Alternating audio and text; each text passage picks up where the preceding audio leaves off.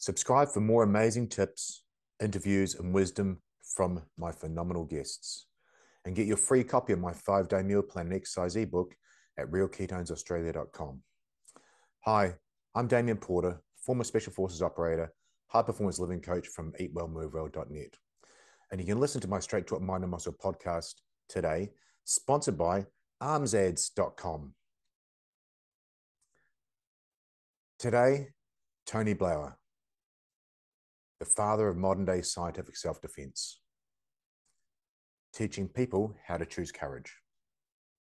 Tony is one of the few combatives experts who has successfully effected training across all the combat related communities self defense, combat sports, and the military and law enforcement sector.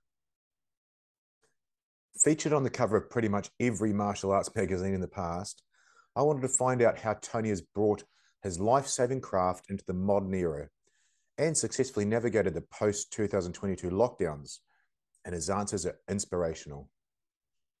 I asked Tony about such things as the difference between martial arts and actual combat, mindset versus skill set, and how he invented the Spear Garage Gym. Now, some of the wisdom you'll hear and learn about in this show are only those who manage their fear manage the fight. Make fear your co pilot, not your backseat driver. The mind navigates the body, and instinct, intuition, and intelligence. Tony spoke with such wisdom and passion and is a wealth of knowledge, and it was an honor to share some of his story on the show today. You can find more about Tony at his main website, blauertrainingsystems.com. Check out the show notes, the, the links are there. But you got blauertrainingsystems.com, B L A U E R trainingsystems.com. And my personal favorite, the Garage Gym Self Defense, which is blauerspear.com, B L A U E R S P E A R.com. And of course, he's on Instagram at Spear System.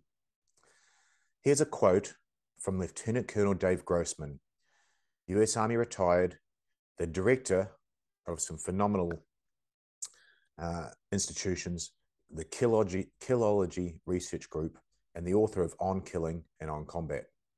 Here's the quote When the history of this warrior renaissance, this golden age of warriors is written, Tony Blauer will be remembered as one of the great pioneers who propelled us forward to the next evolutionary step in warriorhood. Thanks for watching and listening. Enjoy the show.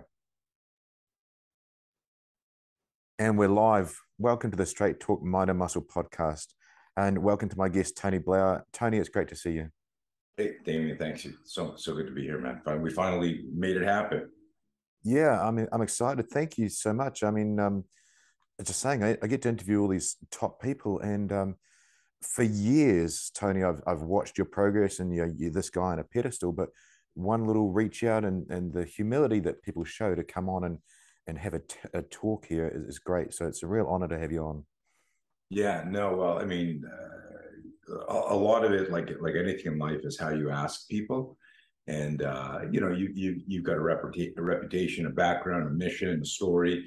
Uh, it makes it easier. But I've been hit up. It's funny. I've been hit up by people who have like, you know, zero followers, just starting out, and it's how they ask. I'll go on. There, there's very few people, you know, because they they they come with you know open hands. Hey, I'm just starting. This isn't. I know you're busy.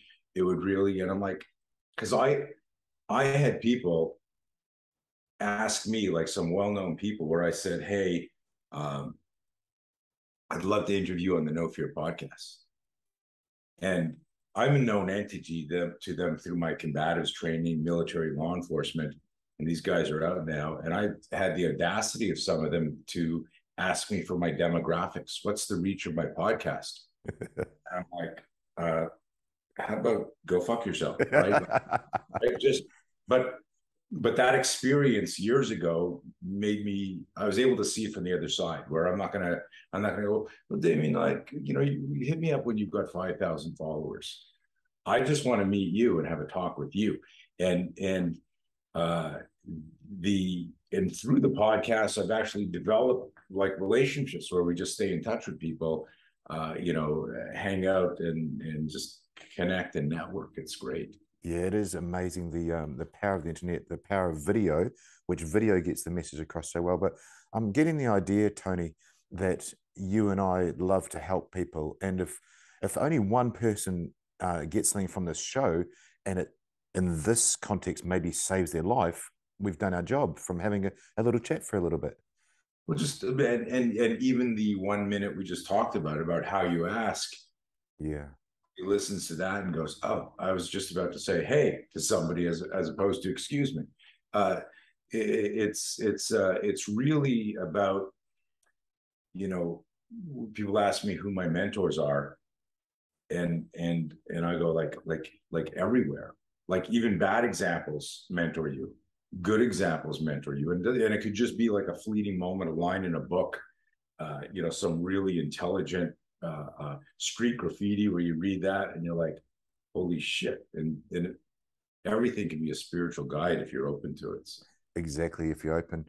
I wanted to do something i don't often do on the show is straight away tell the listeners and the viewers where to find you because you know you've got a new insta channel coming up so straight away if people are listening and then we're going to go to the background and go to all the all the gold but i know you've got spear systems or spear garage gym but let's just talk about where to find you on insta and where to find you straight away in case people are just jumping on quickly and going to, sure. to watch it later so uh, I'm on all the social media channels. Just just if you if you type in my name, Tony Blauer, B L A U E R, there apparently, and I'm not this famous, I don't know why, but apparently there's three or four fake Tony Blauer accounts trying to uh, get people uh, uh, financial advice through crypto. Hey, message me in WhatsApp. Uh, I will never do that. I'll take your money for other things, but I'm not gonna. I'm not gonna. You know, it'll be for training. Uh, but uh, it's only Tony Blauer on Instagram, or if you go to my main page, Tony Blauer, and you might get a warning from from Instagram because I'm regularly shadow banned and censored because I'm I'm obviously a threat to the New World Order because I teach people to manage fear and think critically. But um, it's interesting. Uh, uh so that page will take you to all of my Instagram. We've got four: one for my equipment, one for our our actual tactical training, uh, our Spear Garage Gym, which is actually I could spin the camera, give you a tour. Like this is this is that, and that's an amazing story, and maybe we'll get into it a little bit yeah. after starting to teach in the garage again. Um, and uh, and then I'm on LinkedIn and, and Twitter and Facebook and all that stuff. Awesome. Thanks, Tony. And, and we'll put it on the show notes. I'm just trying to get that straight across because people are actually on a podcast or on a video to hear that or see that. So I think it's sure. important. Well, let's get right into it. Can we go through your history um, and just a brief overview of, you know, I know you started martial arts when you're young, but for the people that don't know who you are and what you do, and I like to think really the father of modern self defense. Um, Thank you. I never welcome. heard that. Can we, can we, can I marinate that a little bit? it, it's funny. You asked me for my history. I got to remind your your your listeners. I'm I'm I'm pretty I'm pretty old right now, so this might take a while. Uh, but uh, yeah, yeah. Wow, the father of modern self defense. I might uh, I might have you send me a, a, a. I'll pay for it, but send me a plaque and I'll put that up in my office. I don't say it lightly, Tony. I so first off, um, amazing having you on the show, like I said, but I interview the best people in the world at what they do, or a clique of those. And, and it's true, we've managed to find the right guys. But you know, I I think in this 2022 world, it's not the World War II combatives that that I I learned uh, in the special forces and we can use for certain things, but the way you're applying it scientifically, psychologically, uh, and then teaching it in a way that the mum, the the teenager mm. wants to come and learn that's what I'm saying. The father of the modern self defense. It's um, it's interesting, but let's find out how that how the hell you learned to do sure. that. How did you get to here? It, it, it's neat, and I actually, uh, you know, I can't wait to share. I, I mean, I hope the conversation uh, continues to, to get better here. But like, it's such a neat thing. I've I've never heard of that. I've never thought about that. So I'm I'm truly uh, honored and, and humbled by that. And the answer and the explanation like you teed it up perfectly. because I abhor violence. I'm afraid of violence. And because I'm afraid of the danger and afraid of the risk, I prepare for it. And and as a young athlete, as a young kid growing up in the '60s, uh, you know, I, I was an all-around athlete, but I was afraid of fear. And none of my coaches and my parents, and still even today, I don't like how people teach people to manage fear. I shouldn't say I don't like it. I think we could do a better job. Yeah. Uh, and uh, uh, I, it doesn't need to be pedantic. And I use that word on purpose because most people don't know what pedantic means.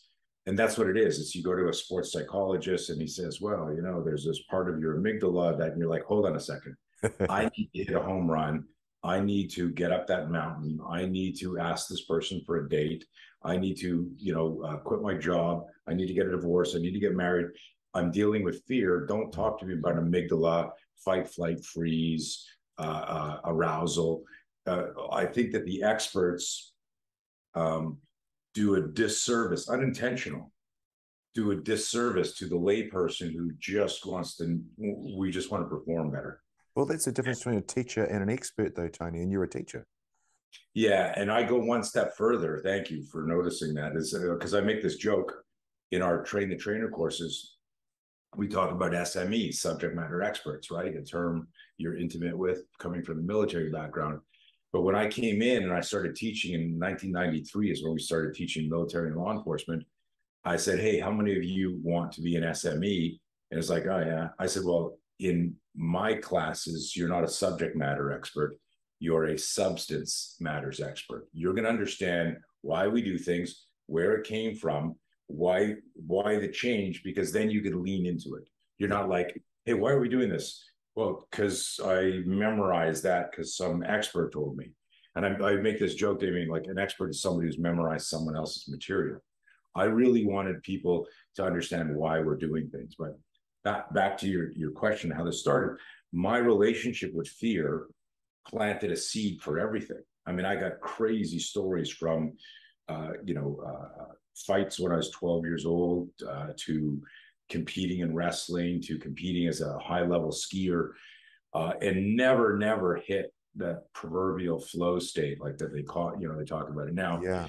Um, even though I do well and I'd have moments, but I was always afraid of this, like, why am I breathing like this? Why is my heart pounding? Why am I why are my hands sweaty? I'm on the top of a mountain about to race. It's below zero, and I'm yeah. fucking sweating. And no one ever said, "Hey, that's just physiology. That's the anticipation of danger or risk." It's because you care so much that you've got performance anxiety. No, nobody, and, and now all the decades later, like I've got a team that travels around the world, uh, sharing my research and system. And I'd all, a ritual of ours is before every single course, you know, we get on a call on Sunday. How you doing? How you feeling? And depending on who the audience or where they're doing or how much like ring rust they have because they haven't been on the road or whatever, like all of them know it's okay to say to me, "I'm fucking nervous." Wow. I, and I and these are like guys that have been gunfights. These are guys that are like I had one guy, this guy Dave Boyle. He's a professional stuntman. He was a street fighter in Ireland, lives in Ireland. He worked the, the pubs there. Uh, he's, and he's a professional stuntman, jumps off buildings on fire. He works on big movies. Uh, he was a competitive kickboxer. I mean, if you looked at him, you'd go, "That guy scraps." Like he just, you, like he blocked a lot of punches with his face at some point. and, and uh, so he's doing this on, on an online course. So we do this two-hour course called Essentials of Personal Safety. And it's just about how to augment your situational awareness, how to manage fear, and then things you can do at your door, by your car, just ideas and it's usually attended by families who like aren't sure where to go just to plant some seeds. So because we do it all over the world, online live, I got trainers in different time zones. It was Dave's first one. I hit him up on WhatsApp. I'm like, dude, you ready? He goes, yeah. He says, I. bang. He says, coach, I'm kind of nervous. I said, well, do you know why you're nervous? And uh, all my guys know to answer because we've created this self-awareness through the No Fear program, and I'm wearing the T-shirt K N O W, No Fear, for those people just listening to the audio version of this. But you know, when he articulated, he said, "Because I want to do a good job, because I want to make you proud."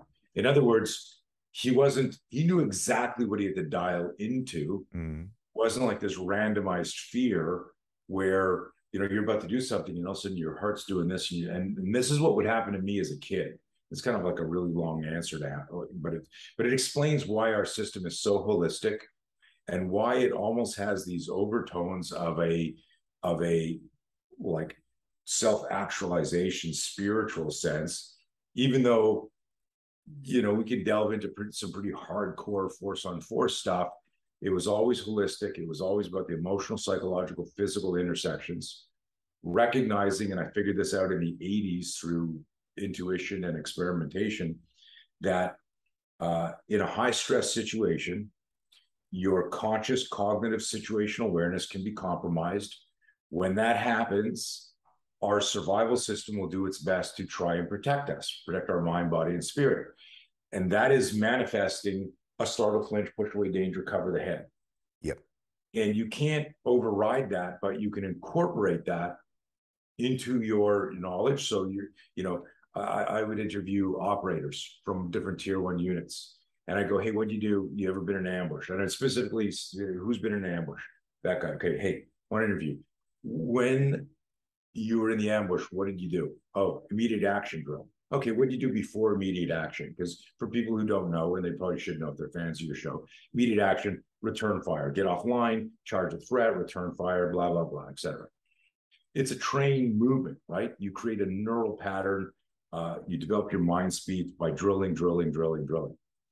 But I would say to them, what did you do before the immediate action? They go, I don't know what you mean. And it takes about five to 10 minutes of me needling them and probing and poking.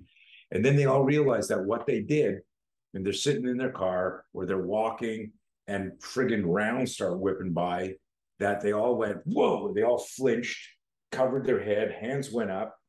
Uh, and then very quickly, the brain recalibrates contact.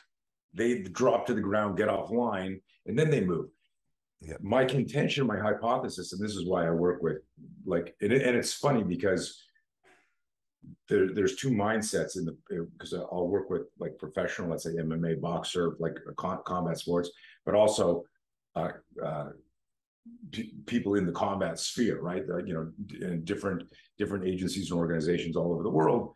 Some of them are like, you remember the original Roadhouse, right? I thought he'd be bigger, and then and then some of them are like, wait a minute, this is about the neurobiology of survival. This is about neuroscience. This guy is talking about signal speed and refractory delay between stimulus response.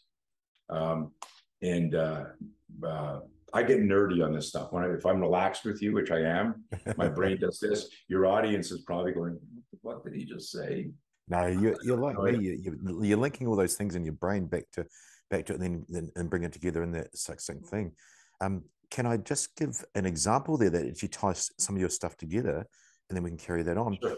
Uh, Clint Emerson. Um, I'm not sure if you know Clint. Yeah, yeah, uh, so, quite well. Yeah, awesome. So Navy SEAL, SEAL Team Six, CIA, and funny as hell guy. Um, he was actually supposed to be on the show with um, a Delta operator and a SAS guy. Um, just starting his audiobook. Uh, what is it? For 100 Deadly Skills? No, no, no. This one is uh, the right kind of crazy. Okay. and uh, he tells a story, Tony. So you do this great thing, especially on the, the videos lately, of someone's ambushing you from a car. Some somebody's driven up and they're going to get out of their car and, and, do bad things. Well, he gets ambushed, uh, 100 mile an hour plus, uh, being followed by he didn't know at the time at night, um, three Mexican carjackers, all armed. Anyway, long story short, the first thing that the super experienced combat veteran experiences is sweaty palms, heart rate goes up, tunnel vision comes in. He's highly trained, um, Tony, as you know, but for everybody else, we all go through this. And then he switches on the training and he stops the vehicle. The other people stop the vehicle. He doesn't draw his gun. He goes running up to the door. The first guy steps down his, his leg onto the ground Clint kicks the door, snaps his tibia, his lower leg in half. Beautiful. Did you know I just, I just, this week I released a video about that? Yeah. That was crazy. Huh, I got to call I just wanted to, to um, share that story because it ties in a very applicable way of showing that's normal. It's very normal to have that fear right. response, and we can't out train it, but we can change the time between when it happens and how we that's, can react and save our lives. Yeah, and that's what I talk about is recalibrate your when a stimulus is introduced too quickly, uh, particularly a violent, dangerous stimulus, your executive function can be hijacked, uh, which means you can't access your your cognitive brain, which is where you saved all of your I'll do this when this happens. And now your reactive brain or reptilian brain kicks in, fight, flight, freeze, stop, the startle, flinch, cover the head, push away danger. What we what we do in our training is we help people recalibrate quickly so that the gap time between stimulus responses is as short as possible. Uh, you know, if if Clint got into three more uh, chases like that uh, each day, we would notice the the refractory delay between his first conscious awareness I'm being followed, which was let's say maybe 42 seconds in this one when he's driving, he's going, fuck, I'm gonna die tonight. Shit. Why didn't I, you know, why don't I have three guys in me? Why is my car armor? Where am I going to go? I don't know where a hospital is. What, whatever he's thinking until he finally goes, dude, if you don't get your shit together, something bad's going to happen. You know how to fight. You know what to do. So if that happened again, if that happened on a Saturday and then it happened on a Sunday, it, it, it, let's say it was 45 seconds on Saturday, maybe it's 20 or 30 seconds on Sunday because he's got to go through. I don't believe this just happened yesterday. I always make this joke that that, and this is this is uh, um, you know the, the, no fear program is probably the most important thing that that my company's developed in in the last 30 40 years because i discovered in doing scenarios that only people who manage their fear manage to fight. And it's a heavy line i want to say it again share it yeah. audience. If you manage your fear you will manage the fight. It doesn't guarantee that you win but it guarantees that you get in the fight and and the mind navigates the body we we need to give ourselves permission to protect ourselves. We need to give ourselves permission to dominate to win uh, and and uh, it's it's beyond like just a battle cry. Yeah let's go. It's it's our it's understanding our self-talk. And our self-talk the way we coach ourselves or that silent coach in the back of your head where i i, I make I, I refer to it as your it's it's you want to create a relationship with fear so that it's your co-pilot, not your backseat driver. You know, the backseat driver is like you're driving, you go, man, you're not going to get there, you're not going to do it. You missed your fucking turn. You should have trained more. You don't have enough ammo. You know, who are you? Imposter syndrome, whatever, whatever it is. Versus, I get a fear spike, and I metaphorically turn over to the passenger side, and I say, "You better put your seatbelt on because we're going about we're about to go fast, right?" Because fear becomes the fuel if you understand how to lean into it. Now, let's go back to your question. Nine hours later, how did this start? I lived with this fear for for 25 years with everything, right? It wasn't until I was 25 heavy into my scenario based training. I was living in uh, Montreal, Canada at the time, and we were doing like Fight Club before Fight Club was a movie, but we were wearing protective gear baseball shin guards, hockey gauntlets, uh, literally hockey helmets with cages and headbutting and elbows and beating each other with six on ones, four on twos, just replicating any we'd see something in the news let's let's replicate that. Someone come in and go hey this almost happened to me. Okay let's play that out. And came up with crazy stuff. And i noticed that we got this reputation like once a month people would show up like you'd show up i don't know you you'd sign a waiver release we'd talk about this like I, I had a maxim training should hurt, but should never injure. If I think you're trying to injure somebody, you will be uh, uh, ejected with extreme prejudice from the training. Uh, we're not here to hurt each other. Uh, sorry, we're not here to injure each other, but we will hurt each other, and yeah. because we'll become more resilient, right? Yeah. Kind of, kind of a modification of the Nietzsche: "What doesn't kill you makes you stronger." Um, but it was fascinating, Damian, because that was my the 80s were my incubator period. It's when I, I, I designed, it's when I discovered Startle Flinch and started to develop the SPEAR system. I didn't start with an acronym, right? Spontaneous protection enabling accelerated response. That's a cool acronym. Like business. Like it started off with, yeah. you know, doing a drill where it's like, what the fuck? Like noticing that my my flinch response was more functional than my learned complex motor skills in high stress, extreme close quarters. Let's just unpack that, Tony, because yep. you and I speak from an educator point of view. You an expert, me a bit of education. Your your startle and flinch response that you naturally do, and all people naturally do, is better at protecting you than a really highly trained uh, skill. That's what yeah. you're saying, right?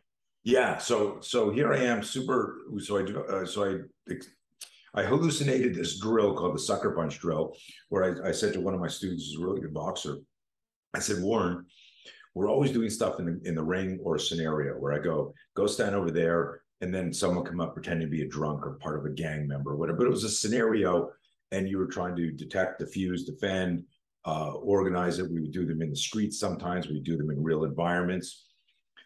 Uh, but we didn't surgically analyze what is now what I call a PIA, a primary initiation attack. Mm-hmm. In other words, in America, headbutting isn't a big thing.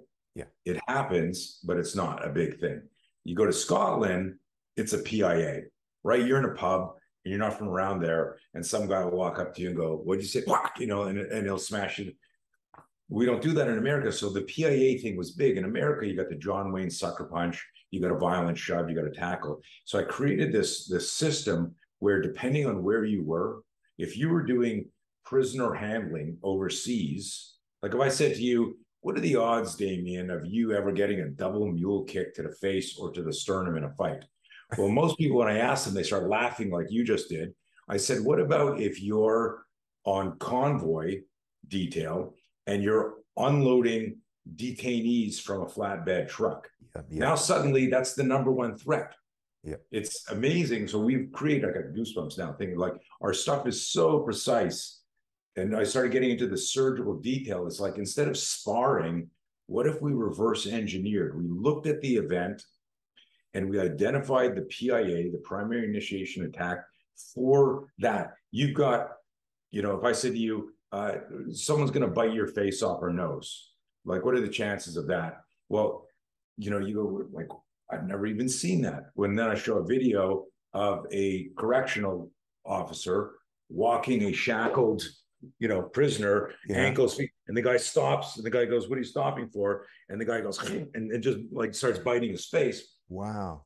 So we, we work with a lot of prison services. So explaining them, hey, you work here, this is your threat. Now, think about this. If I asked you, I'm off on a crazy tangent here, but it's fun. If I asked you generically, we bumped into each other in, in, in a pub, and you went, Hey, you're Tony Blauer. I heard about you, teach self defense. And I said, Damian, how many ways can you be attacked in in a street, uh, like a street fight? Mm-hmm the default answer without throwing you under the bus and, and is is I don't know, fuck a million, yeah, like that zillions of ways. That's what the general public and everyone listening, that's what we carry around with us. And at, an unconscious level, that induces a lot of fear and worry when events start to unfold. Yeah. But what if I said there's a system out there where you could look at where you are and who you're with and uh, and and distill the the types of attacks to a manageable number.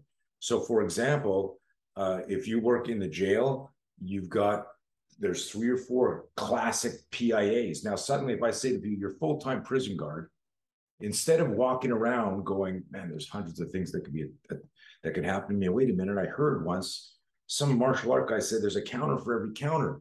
That means there's infinity squared. Holy fuck! Like and you start thinking about reaction. by analysis. Yeah, you and suddenly you're like, ah, as opposed to I knew he was going to do that. Why? Because the training predicted it. Yeah. Right. And so uh, uh, it, it's uh, it's a it's an interesting thing. It's a predictive model for you know these like dynamic fluid situations, and it's pretty freaking accurate. Uh, and here's a, a neat thing: you'll get this. Some of your listeners will get it, but it's a bit nerdy. If I say to you, but this is the fastest thing that this threat could do here. Therefore, the most dangerous thing. And we go, mm-hmm. yeah. And you go, but he could do this too, right? Or this too, or this too. Yeah. So let's say you're a police officer standing there inside a reactionary gap. And the guy goes, Well, listen, man, I don't have any idea. I'm whack, and he throws a punch.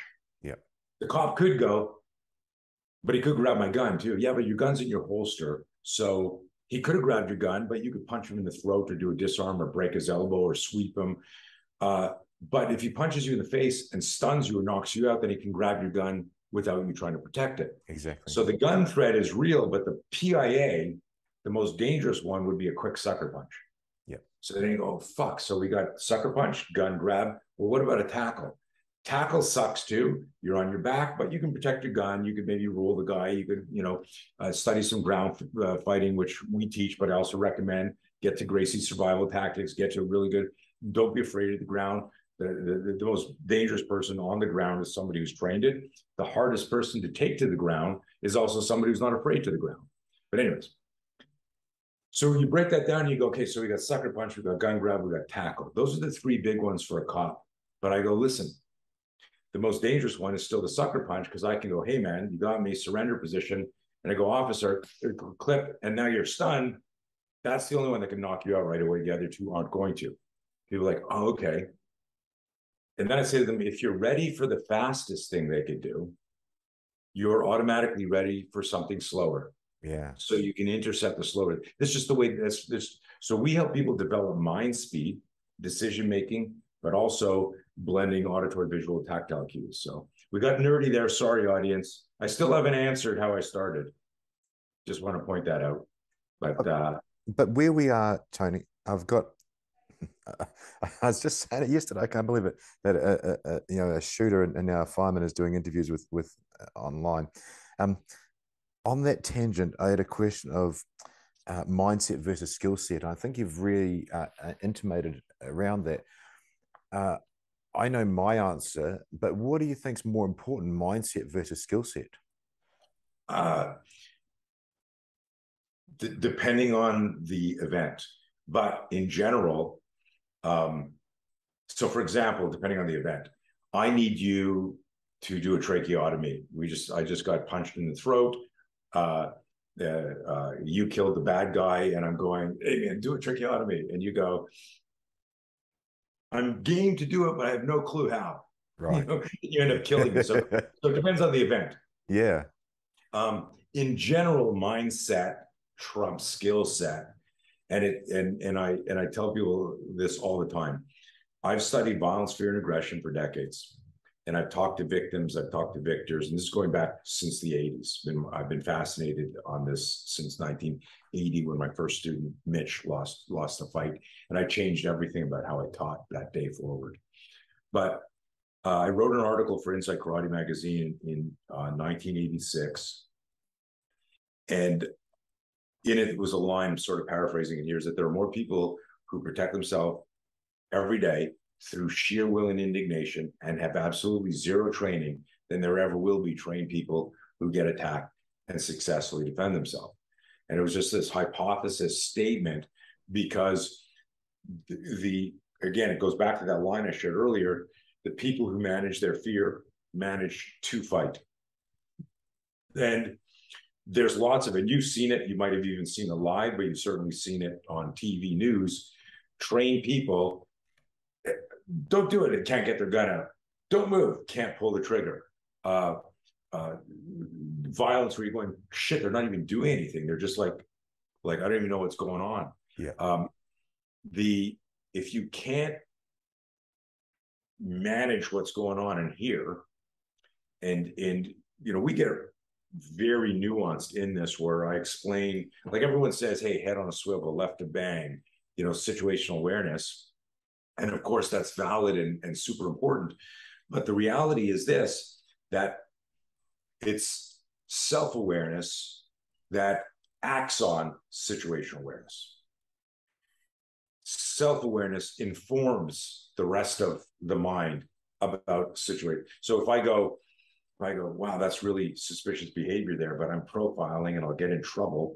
If I say something here, then I'm going to be shit. I don't want to get involved. That's not recognizing I'm in the fear loop. I my my survival system said there's something wrong there, and then I talk myself out of it because I'm in in, in the fear loop, and then something happens and I've got this PTSD guilt.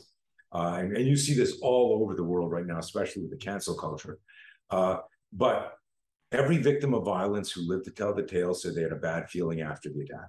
Yeah. Uh, uh, or sorry, they had a bad feeling before the attack. What I mean is after the attack. When if they lived to tell the tale in their interview, they said, I hope that came off. That that sounded weird as I said it. Everyone who lived to tell the tale said they had a bad feeling before the attack, meaning they were injured after the attack. They lived, and someone said, "I knew something was off. I knew something was wrong." But they exactly didn't have that. they didn't have the self awareness slash courage to act on it. Why? The blinders on this can't be happening. We go into denial. I don't want this to happen. I want to deal with this. Uh, and um, and this goes for like trained people too. Well, that's that's where I wanted to go. I'm glad we, we got there. Um, Chris McDougall has written two books. One was Born to Run. That's not relevant to this. Amazing book. But the next book um, is a, uh, talks about heroes, and in it he talks about like the grandma hero who who goes and, and takes on a, a couple of attackers, um, a, a, person who goes into the burning building. But you're talking about the people they realize something's off, and they're not trained but they've got the mindset to then go, I have to act. Now, there's right. those people that naturally did it and they're, they're on the television as heroes.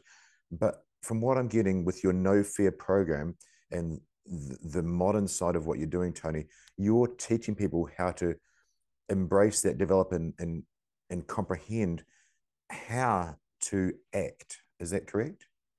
Yeah, it, it's uh, um, that, that, that's a great a great summary. I my like I believe that everyone knows what the right thing to do is. Let's let's let's uh, cast aside the asocial predators, people with you know mental health issues, stuff like that. Normal people, normal people know I should help this person here. I should hold this door here. I should be polite here. I should say thank you here. I should. That woman is crying for help. That kid looks scared and lost, and they're walking with a man. I, I don't want to get like I I should say something. So I always say like like we call this the three eyes: instincts, intuition, intelligence. Your instincts, you know, there that's like kind of a hardwired signaling radar system. Your intuition is when something in the world whispers in your ear and you know it to be true you just don't know why it's true or if it's true yet right. and we and we don't and we aren't taught to be curious in a strategic way, right? And when we say strategic way, because like if if if it's a, a a, premonition or an idea for danger, we don't want to go, you know, hey, are you following me? And like maybe we need to be a little bit more clandestine in how we evaluate whether we are in danger or not. Um, so so yeah, it, the whole no fear program is about teaching people how to choose courage. So fear is contagious, but so is courage one of my favorite lines out of the program that I'm happy to share with your audience is is this you can't be brave if you're not afraid you can't be brave if you're not afraid and and what that means is is given the choice all humans would choose to be courageous would choose to be brave but what we do if we don't think this goes back to skill set mindset someone goes but i don't know what to do Whereas in in McDougall's book and Heroes and stuff like that, like the person that runs into the burning building, they could have easily said, I'm not a fireman. I have no idea how to run into a burning building. But something compelled them. They someone screamed, my my cat's in there, my dog's in there, my kid's in there. Someone said my grandma's in there. And that person just went, and it was that if if not who, if not me, then who type type moment. Beautiful. And then they're always asked after, you know, you're a hero. and then they always say something like, no, I'm not. I just did what I hope someone would do for me or my family. We have a big block. We talk about the courageous bystander in our training.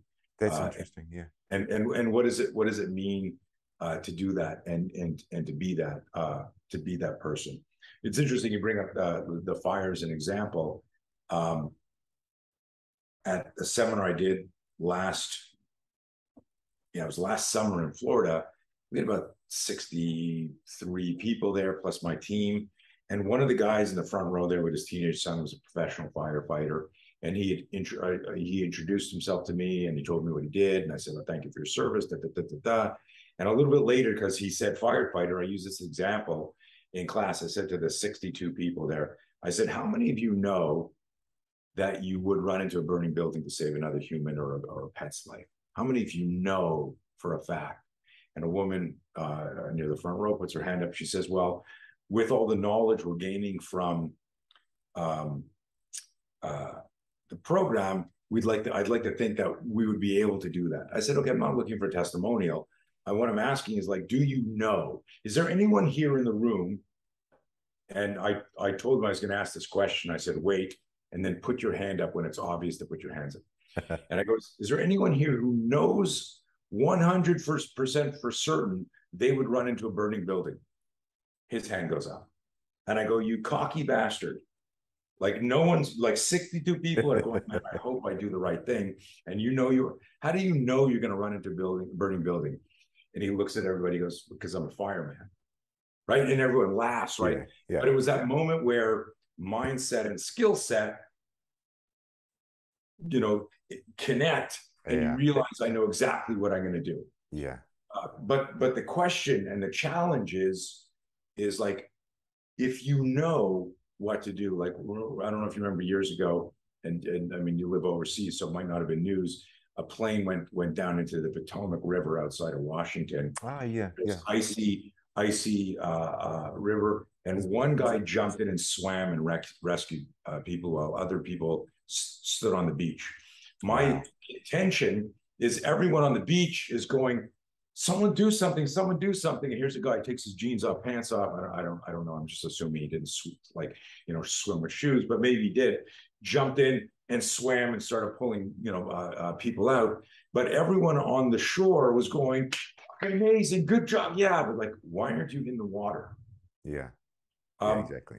There, so there's a neat thing that we do in the No Fear program. We talk about, and I, I think we're probably the only company that does this and it's it's it's a subtle trade secret. So I'm I'm it's not a, it's not like classified enough to kill everyone after they tell it. and don't right? say that on Facebook. I I, I did the right? Top Gun line. I was banned for a month.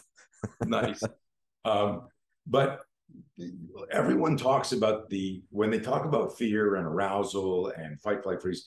They're talking about the physiology and the biochemical, the, the neuroscience of fear and what it does to our body. Our focus is on the psychology of fear because whether you get an adrenaline dump or not isn't what's important. It's what you're thinking because the mind navigates the body.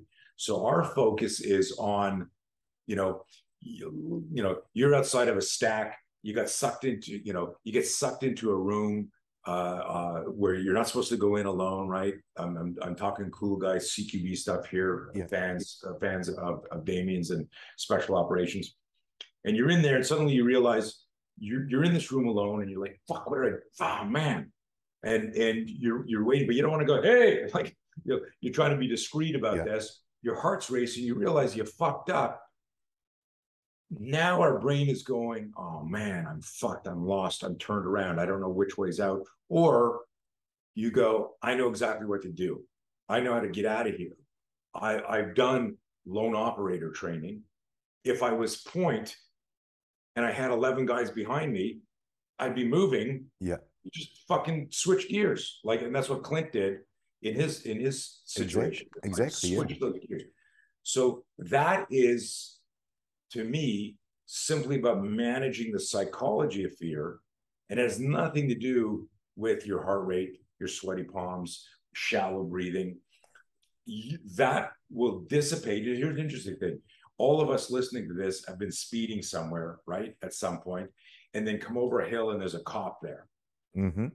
And all of a sudden you immediately hit the brakes, you check your seatbelts on, you're slowing down, you're like, oh fuck, I'm gonna get a ticket. And then you realize he's looking down, he's writing someone else a ticket, or he's just finished writing a ticket. And you realize you're safe, you're not going to get a ticket. But within three seconds of all of the recognition, you still get an adrenaline dump. Yep. You're not running, you're not sprinting, you're not hitting a bag, you're not in a fight, but your heart is racing. You got butterfly in your stomach, and you're sitting in your seat, driving.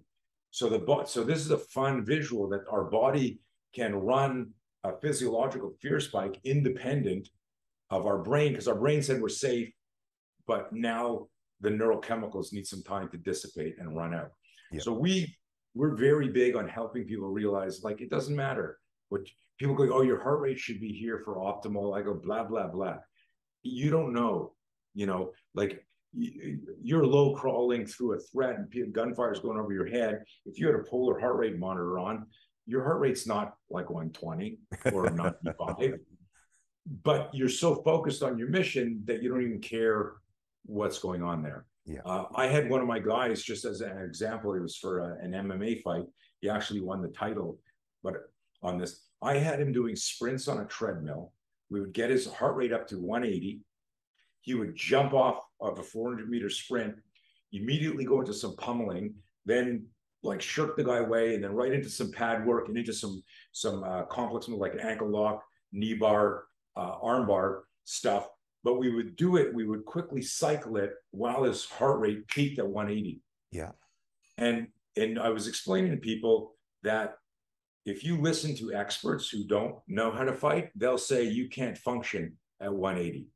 and I go, no, a guy like you and, and, and Clint and and some of the other guys from from some of the uh, tier one, these guys are shooting people in the face, picking targets, and only the sniper. I always make a joke. The only one cool, calm, and collected in a gunfight is a sniper. Yeah, everyone, yeah, everyone else is like it just in the zone, and you're just flowing. Yeah. So Anyways, with with back to Clint though, and it's great, uh, amazing uh, uh, synchronicity that I, I, listened to it uh, yesterday for this show. Uh, he's again a highly trained combat veteran. Uh, he broke, he kicked the door and broke that guy's leg, and then the other the passengers got out and he's drawn a weapon and the passenger had a weapon and next thing clint hears the cops screech up and blue and blue and red lights. Under that pressure, Clint totally tunnel visioned on the threat. He can't beat his physiology. He hasn't been in a situation before where he was he'd done that. He'd done this stuff in Afghan, Iraq, all the places. But literally, he was the perfect example of all the things you're you're uh, showing, Tony, that the humans naturally do. He tunnel visioned. He didn't know the cops were there until he heard them say, "Get down." Right. Yeah uh, uh, and, and that's that's uh, tachypsyche, big fancy word for things going into slow motion, auditory exclusion. He didn't hear maybe their first three commands. Absolutely. Uh, tunnel vision, uh, and that's normally you know uh, what you do when you're locked in with a tactical imperative. What's interesting is if you are um, going in the other direction where you've given up, you notice things that are distracting. I was talking to a cop once who was in a fight where the guy was trying to kill him. This big guy had, they were fighting in a vehicle. This guy was so strong, he slammed the officer up on the ceiling of the car. Wow. He's got his arm across him, actually like a spear outside 90 finger blade. And he's yeah. pinned in here and he's grabbing his gun, screaming, I'm going to kill you. And this cop's getting choked, hanging upside down from the car like this. Wow. Hitting, and and he's debriefing me on this. And he says, um, he says, and he had just graduated like a, a couple months earlier, my officer survival training. Okay, and, yeah. Uh, got got uh, uh, had to, to set it up how they got in the car is he stopped this guy who was on a stolen bike. The guy uh, suckered him, dropped him. They fought on the ground. He OC'd him. The guy, you know, fought through that, hit the cop. Cop falls back, and when he stopped the guy quickly, he got out of his car quick and went to him and left his car open, it was off, but the guy got in there to steal his car. Right. Wow. So he jumps in the car and he's trying to figure out how to start it. Yeah. And uh, the officer runs over, opens the door, grabs the guy, but this guy is like this. The, the cop was like 170. He was he, he was like a runner. Yeah. He used to run 10 miles a day. I fucking hate him, right? So uh, I hate guys like to run. But um, um, but the guy, when he grabbed him like this, he just grabbed him and pulled him in, and they fell into the car. So now he's up here and he's on the guy's gun, and uh, he says the craziest thing. Uh, there's something I tell people. I go, I go, weapon re- weapon retention is your holster. Weapon protection is your mindset. Right. Good. If somebody's trying to grab your gun. Let him grab your gun and smash him he, if you've got a fairly modern holster, nobody can pull your gun out before you can hit them three, four, five, six times in the throat and the head. And trust me, if if you know if you're down here and I go reach through the internet here, Damian, and grab my gun Yeah, with yeah. both hands, and as you're reaching, I go whack, whack, whack, and I'm nailing you, elbows, forearms, gouging your eyes. Yeah, I guarantee that your nervous system is going to stop focusing on my gun absolutely. what we explain to people is we can trigger the physiology of the suspect or the threat. In the same way, if I do something and I move at you, like in the same way, physiology can sometimes interfere with our complex motor skill. That's a two-way range when, when you're fighting. And if you understand it, you can apply it. But anyways, he's over the guy, and, and this is the, the the thing we're talking about: tunnel vision, auditory exclusion, and and uh, um, uh, what was the other thing? Uh, tunnel vision, auditory exclusion, and tachypsyche. Things going into slow motion. So where Clint, he had a tactical imperative. He had switched gears, and now he was Clint, the badass operator. Somebody who gives up, even if they're trained, because this cop was trained, but he's up there, he's he's losing oxygen to the brain, and he he says to me, "I'm hanging up. I'm up here." The guy's on my gun. He's going, "I'm gonna fucking kill you, cop. I'm gonna kill you." And he's struggling, and I feel like I'm passing out. And all I could think of was I looked through the window in front of me and I saw there was a, a red Dodge Ram truck. And I was thinking, wow, that's a really nice truck. I'd Oh, love to have a truck like that. And then I'm thinking about my family and the truck. And and he looks at me, goes, Why was that? And I said, like, that's just part of your brain go, they're trying to distract you from the problem because there's a part of you that didn't believe you could solve the problem. And it was really heavy moment and I Mm, said, "What snapped you out of it?" And and um, uh, he he said it was me remembering in class you saying weapon retention's your holster, weapon protection's your mindset. If someone's grabbing your gun, fuck him up. You need to move right to the head, right to the throat, mhm. and because his hands are down if he's on your gun. Yeah. And uh, what was amazing at that moment, upside down, he because he was trying to peel the the forearm across his throat, trying to peel it off, but he couldn't because the guy was wedged and big. Yep. But his other hand was down here, pinning his hand to the top of his pistol. Yep. And he just he was pinning his hand, Siri, to stop eavesdropping. Siri, right? But but it was an amazing moment, man, where he's up over here and and the head. Where's a, a fucking ball here? I'll just show it. I'll show it to you what it looked like. You know, this guy's down here like this, and he's up here pinning here. Yeah. And it's a move that we teach. Forget the gun, release it, boom, and he just drops an elbow from here up on top, wow. hanging out. Release that. So the guy's on there, Yeah. whack, and just came down with an elbow. Did it twice, knocked the guy out. Um, Beautiful. yeah, it was insane. wow. Um, Look- get me all excited. I haven't told that. story in 10 years. You're so passionate. I, I get um slammed for that all the time when when I get into into things I enjoy. Um, that brings me to the question then, because I originally asked for your history, and then we've gone well past that. It pushes to, the, to this question: is that what's the difference between martial arts and combat?